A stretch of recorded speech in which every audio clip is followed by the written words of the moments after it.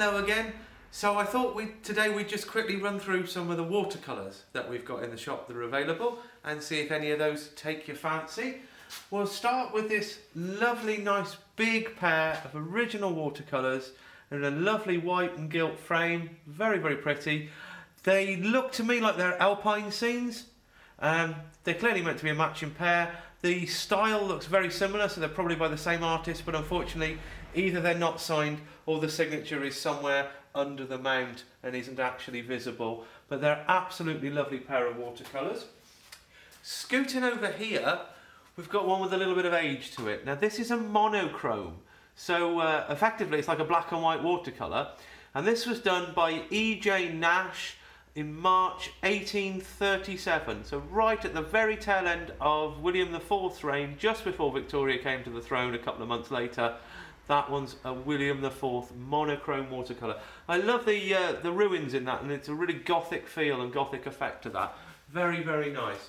Following me round this way, there we go. We're, we're off doing the uh, chasing around the room yet again.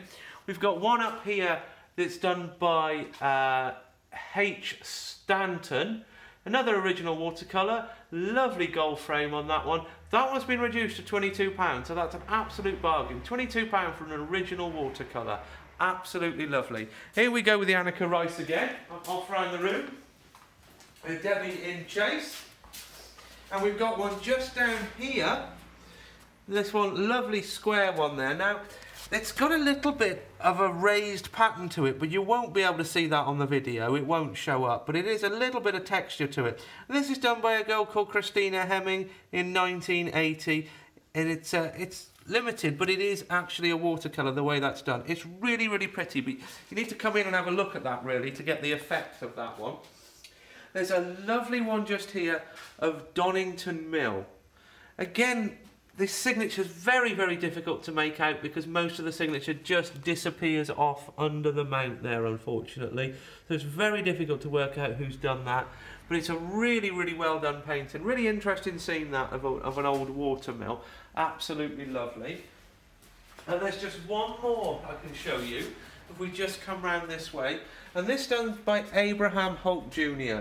Um, that looks to me like it's Ely Cathedral over in uh, towards Cambridge there. Really, really nice. Holt Jr. there, 1851 to 1922. So this is probably going to be around about the turn of the century, that one. We've got that one up for £50. It's a lovely one. You can Google Holt Jr. He's actually quite famous. But there we go. Just a quick scoot round the room of a couple of the watercolours that we've got for sale. And hopefully we can find some new homes. Thank you very much.